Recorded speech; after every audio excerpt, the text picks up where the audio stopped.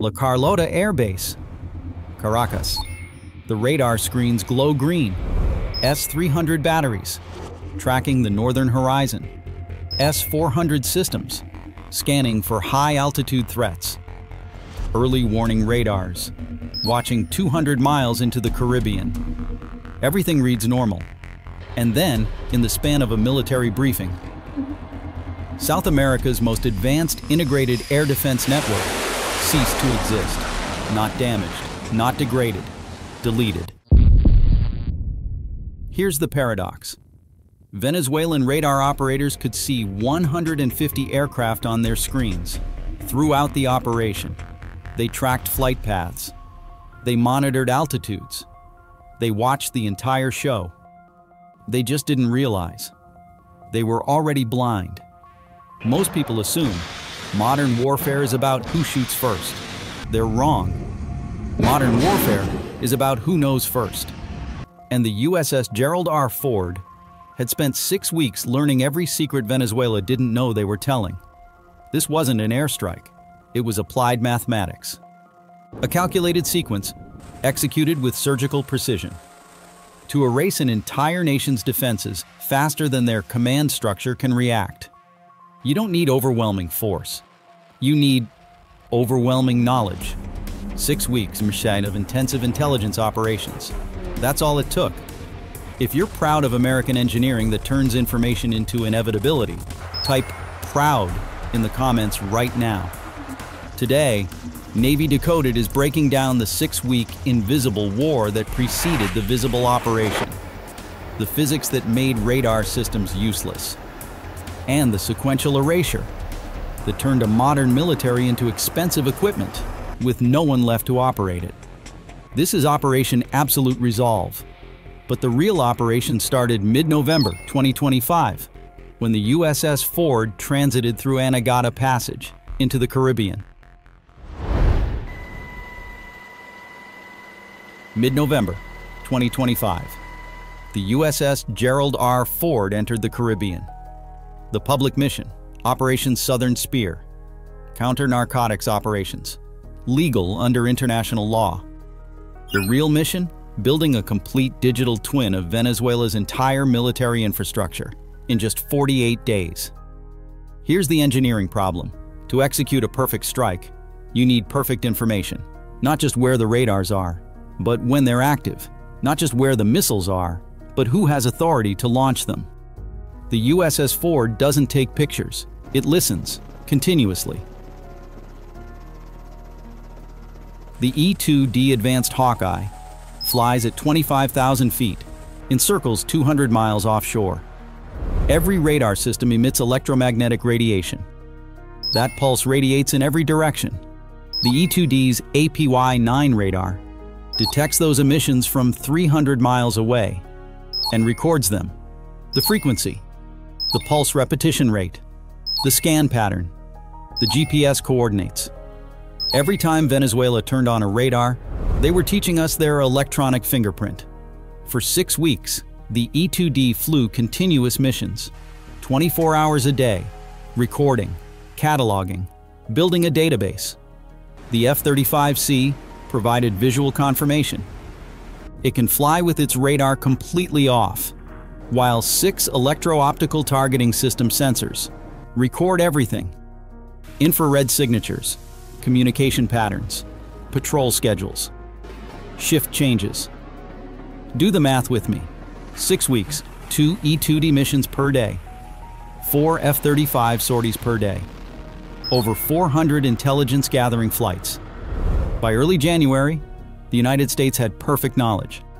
Every radar position, every command bunker, every communication frequency, every shift change, every weakness.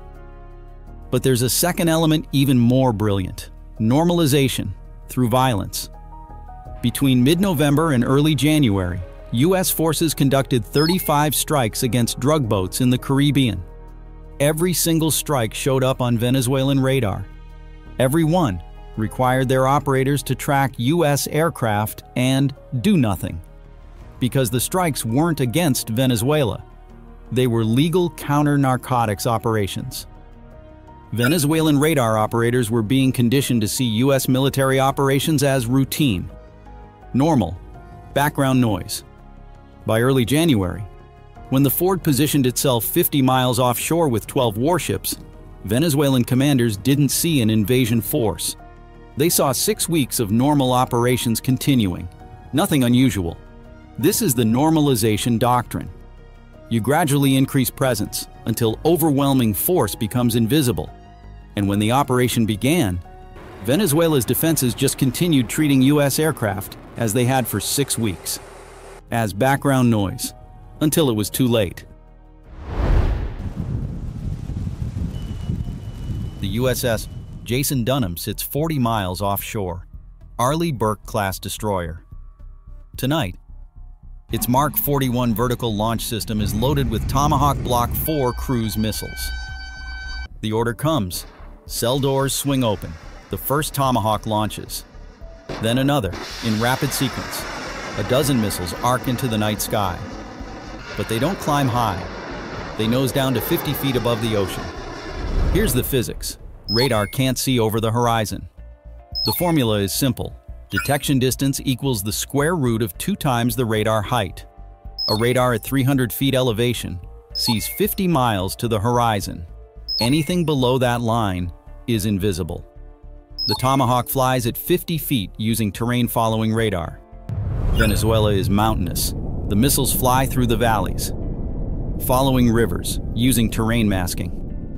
At 550 miles per hour, the missile covers ground fast, but to radar operators, nothing appears until the last three miles. At Mach 0.75, three miles takes 15 seconds. Not enough time to react. The Tomahawks hit nodes. Early warning radar at La Guaira. Radar arrays at Higuerote. Communication towers on Mount Avila. Think about what this does to an integrated network. It's like severing the optic nerve. The eyes are still there. They just can't send information to the brain. Venezuelan S-400 systems remain operational. Their launchers are armed, but they have no early warning, no targeting data, no coordination. A $500 million air defense system becomes an expensive sculpture, beautiful, functional, isolated, useless. The Tomahawks also hit communication nodes, the bunkers that relay orders from command to field units. Not destroyed, disabled, antennas sheared off, power systems disrupted. The bunker survives, but can't talk to anyone. This is node deletion. You don't destroy the enemy's military. You destroy their ability to command it. The organism stays alive. The nervous system dies. The Tomahawks opened a corridor. Now, the hammer falls. FA-18 EF Super Hornets, launch from the USS Ford, full combat load. 2. 2,000-pound GBU-31 JDAM bombs. AGM-154 JSOW glide weapons on wing pylons. The Super Hornet doesn't have stealth. It doesn't need it. The air defense network is already blind. The GBU-31 JDAM is GPS guided. Circular error probable of 5 meters. That's geometry, not marketing. The bomb falls toward GPS coordinates with guaranteed accuracy, and it carries 2,000 pounds of high explosive. The targets aren't radar stations. Tomahawks handled those.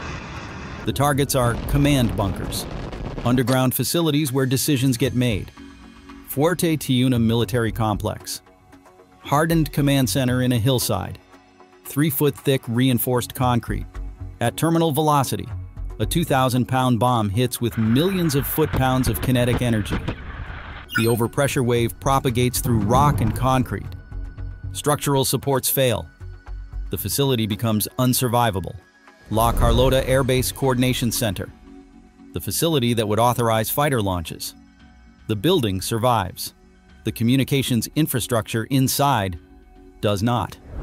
Venezuelan fighter aircraft sit on runways, fueled, armed, ready. But no one has authority to launch them.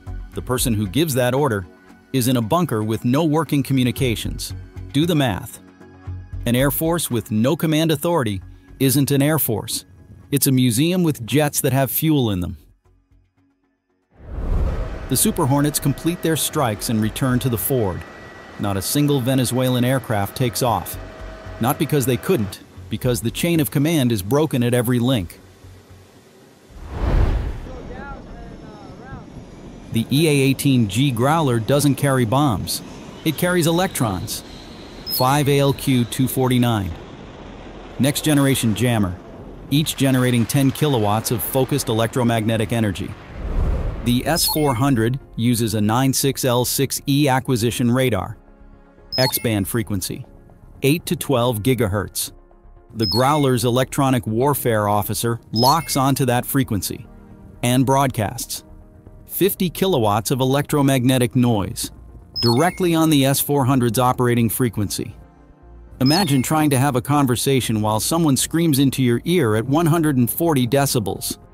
The S-400 operators see their screens filled with noise, random contacts, false targets. They cycle through backup frequencies, but the Growler tracks them instantly. Russia sells the S-400 as an F-35 killer claims 250 kilometer detection range. But the S-400 needs to see the target first. And the Growlers make absolutely certain it never does. While Growlers create electronic chaos, the F-35Cs hunt 44 Lightning IIs at 40,000 feet. Sensors active, radar in passive mode. The F-35's distributed aperture system is six infrared cameras. It doesn't need radar to see. It detects heat. Operating radars generate thermal signatures visible from 100 miles away. Any S-300 or S-400 battery that activates its radar becomes a beacon. The F-35's computer flags it, and an AGM-88G, AARGM, ER missile can launch. The anti-radiation guided missile homes on electromagnetic emissions the radar operator has two choices turn off and go blind, or stay active and become a target. There's no winning move. This is what air superiority actually means. Not that we shot down their aircraft, we made operating their defenses irrational. We removed every option except surrender, without forcing direct confrontation. By Phase 3's completion, Venezuelan airspace is uncontested not through violence, through physics and mathematics. Every defense neutralized, every radar blind, every command center isolated.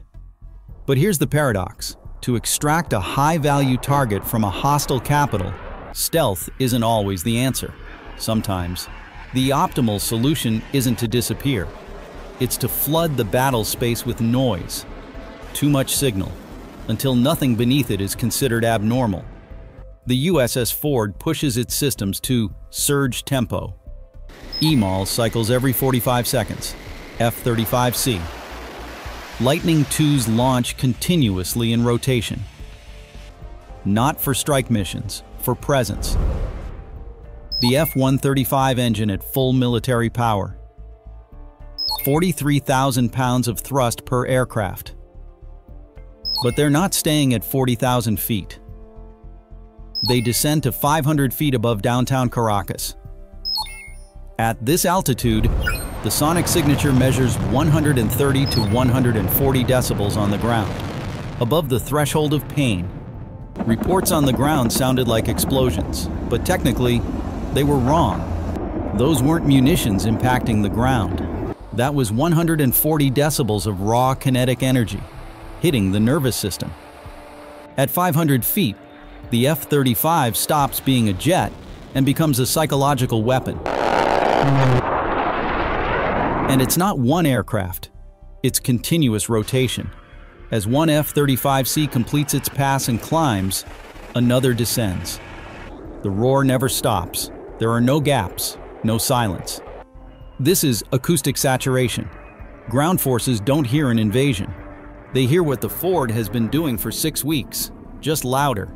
The sensors get overloaded, not by malfunction, but by excess information.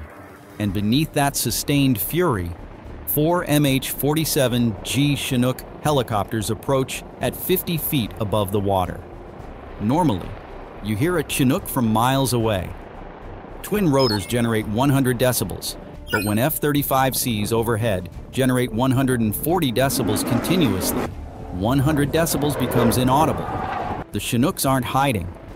They're being swallowed by the calculated chaos above. The Delta Force team walks through the front door, while the doorman is covering his ears.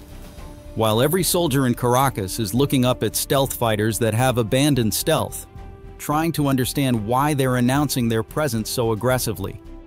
This is the weaponization of paradox. You defeat detection not by being silent, but by making everything else silent in comparison. The loudest thing on the battlefield becomes the camouflage. This is the final phase. Not violence, not stealth. Inevitability, made audible. So, the final question isn't how fast did the network collapse? The real question is, when did the enemy actually lose? Many assume the defeat began when the first Tomahawk missile left the rail. They are wrong. The victory was sealed six weeks earlier, during the phase we call the silent siege. The U.S. Navy didn't dismantle the enemy with firepower. We dismantled them with habit. For 48 days and nights, we didn't just harvest data, we were reprogramming the enemy's expectations. By conducting hundreds of routine patrols, we taught their radar operators a lethal lesson that American presence is just routine, that these signals are harmless. We turned the most dangerous fleet on Earth into background noise. The enemy didn't lose because they couldn't see us. They lost because they saw us every single day until they stopped fearing us. And when the strike finally came, it wasn't a battle. It was a singular kinetic moment, a flash of execution, a mere administrative formality, to close a file that had been written weeks in advance. The speed of the collapse wasn't measured in minutes on a clock, but in the processing cycles of a stunned command structure. In the modern era, the most terrifying weapon isn't high explosive, it is patience. When you turn your enemy's perception into your camouflage, you don't fight to win, you simply wait to collect. If this analysis of weaponized psychology shifted your perspective on naval dominance, verify your attendance in the briefing room by hitting that subscribe button.